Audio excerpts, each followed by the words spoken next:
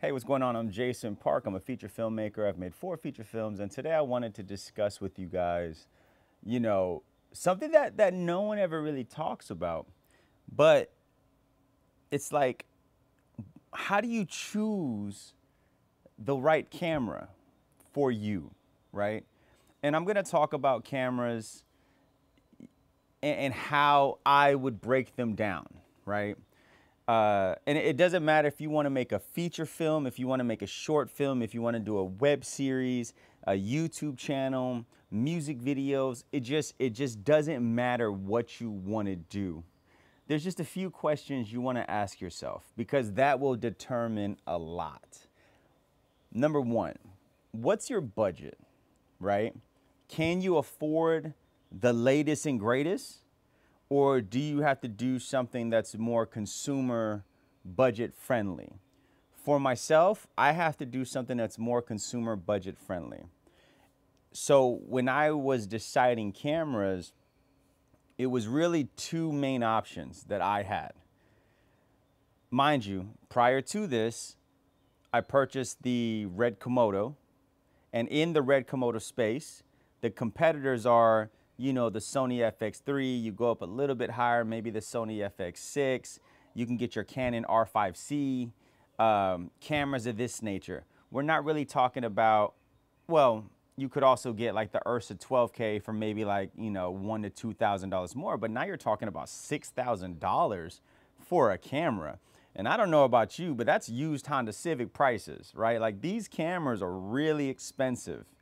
And I personally, unless I'm on a, a like a, a really big shoot and there's a lot of money, I would never spend 5,000 and above for a camera body because the returns are just not worth it. The majority of people are just not going to see their notice or care about the difference. They're just not. So, uh, when you go into that territory, right? The Ursa 12Ks, the Komodo X, the Sony FX6, FX9, like that that becomes such a distant thing uh, for the majority of us that unless you're rich, I would shy away from it because it's not necessarily going to make your work better. It may look incrementally better, but it's not going to make your work look better, right? That's the thing no one ever talks about it's kind of like having a Honda Civic and a Ferrari, right? So let's say the ARRI Alexa, you know, uh, those cameras in that price range, anything, the Burano, anything above that 10,000 and, and, you know, just for the body, the, the Komodo Raptor, or not the Komodo, the Red Raptor and stuff like that. You're talking about, those are the supercars of cameras. But if making a movie, I just need to I need to get to my destination. I need to be reliable. I need to good, get good MPG or battery consumption. I, I need these things.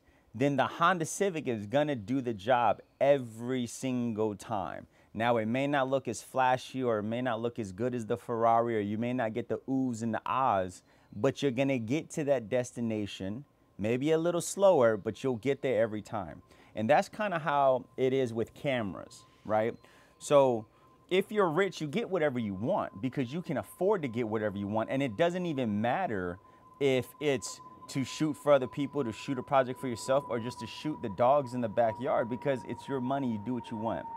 But from a prosumer, consumer, you know, under that like $3,000 mark, for me, after I sold my red Komodo because I realized I just like the image quality was phenomenal, but I just didn't like the workflow with the red Komodo. I am on the short list of people that I don't like box cameras. I don't want to rig it out. I just I don't, right? When you have those FX3s, those Canon R5Cs and you got the monitor built in, the C70s, I'm like, man, this is exactly what I want for me. Because a lot of times you're going to run and gun solo dolo, wear multiple hats, maybe you got your homie and then you're going to go make things happen. So for me, the two cameras that were on my list were, okay, let me go back to the Blackmagic uh, 6K full frame or the Lumix, right? It was the Lumix camera uh, by Panasonic. And I kept going back and forth on footage and footage and use case and use case. And I realized why the cinema camera 6K full frame was for me. It had that big display on the back. It had B raw, and, and what why raw is so important for every new filmmaker, every new uh, video camera cinematographer out there. The reason why B raw is so important is because if you mess up your lighting on that day, right? You can go back in post and maybe lower your ISO or raise your ISO a little bit and and save yourself. Now, if it's excuse me, if it's just horrible lighting, you're not going to be able to fix it. But if it's a little too high or a little too low, you can bring it up, right? Or bring it down. So that's why raw and that flexibility was so important to me. That monitor in the back was important to me. Uh, built-in NDs, they're not important to me because I can just screw on an ND filter in 10 seconds. I, like I just, I, I never saw the the big appeal uh, or, or the big deal about built-in NDs. Like I do not want to spend an extra $500 for a camera to have built-in NDs when I can screw one onto the lens and call it a day right? And then autofocus, autofocus wasn't something for me because when I buy a camera, I buy a camera to shoot movies and it's to only shoot movies. I'm not shooting client work. I don't care about shooting commercials. I'm not shooting music videos. I'm not shooting short films. I'm like, my goal is to shoot feature films and that's it, right? Like for me, I'm not out there looking for jobs. I'm not trying to be a wedding photographer or a videographer. I'm not looking to get hired by, like I just, I don't care about that stuff.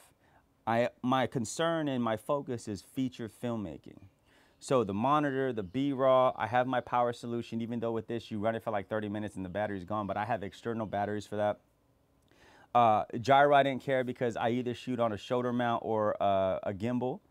And that was it. It had what I wanted. The 13 stops of dynamic range. Is it cool to have 16, 17, 18? Yeah, that would be awesome. But guess what?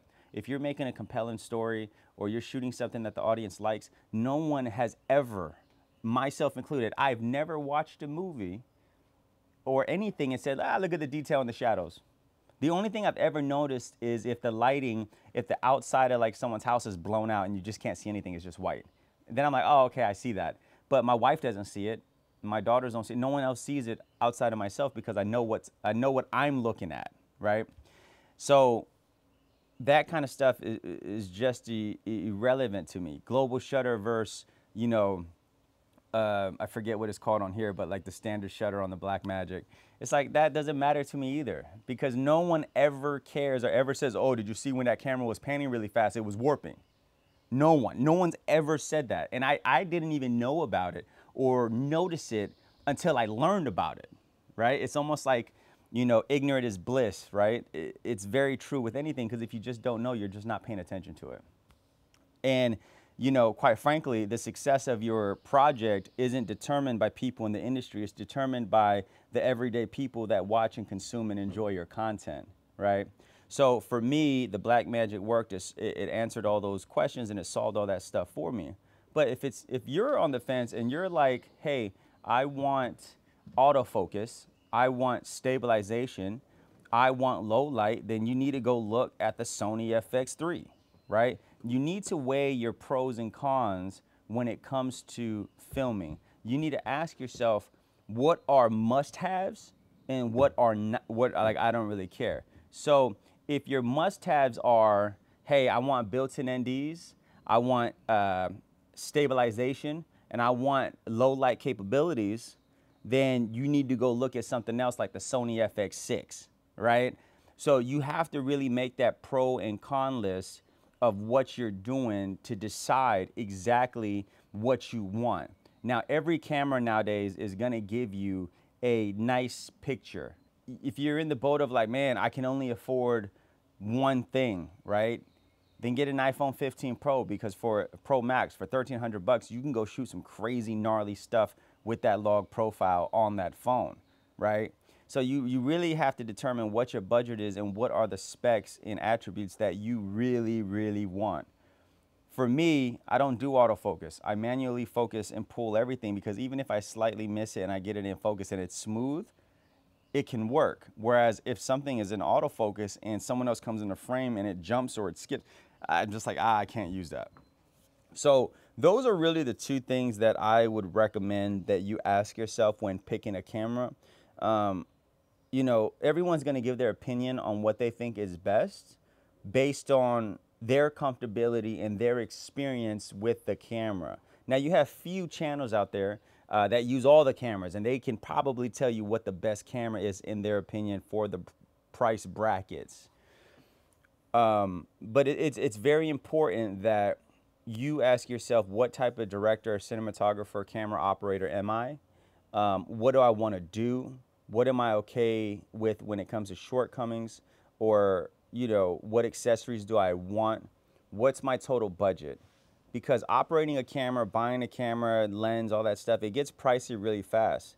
So when you see something like the GH series and it's like $2,000 and you get all these wonderful features in this package, you have to always remember that you're probably going to spend another $2,000 on top of that on your battery solutions, your lens, your filters, your cage, your if you want an external monitor, your cables, all that stuff.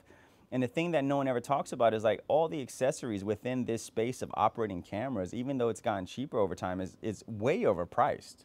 Everything in this field is overpriced. I mean, this tilted cage that cost $120 for what? A little metal cage?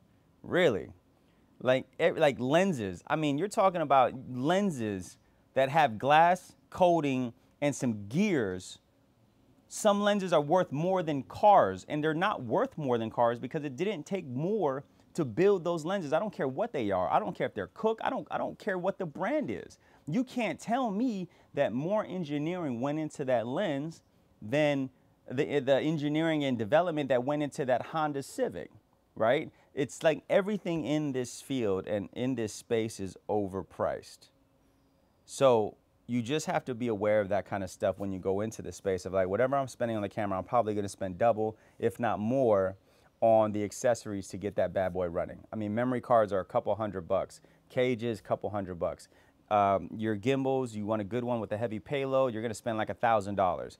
Your microphone set, you're going to spend another four hundred dollars. Your cage, 120 bucks. Your monitor, you want a good one, you want 4K or 10K, SDI or HDMI, you're going to spend another 600 bucks. Like it, it can get pricey, but I suggest rocking with the bare minimum that can make your job easier because all cameras are are tools and they're tools to help you get the job done. So I'm Jason Park with Hypatude Productions. I hope to see your next film or short film. Send it here. Keep creating, y'all. Don't wait.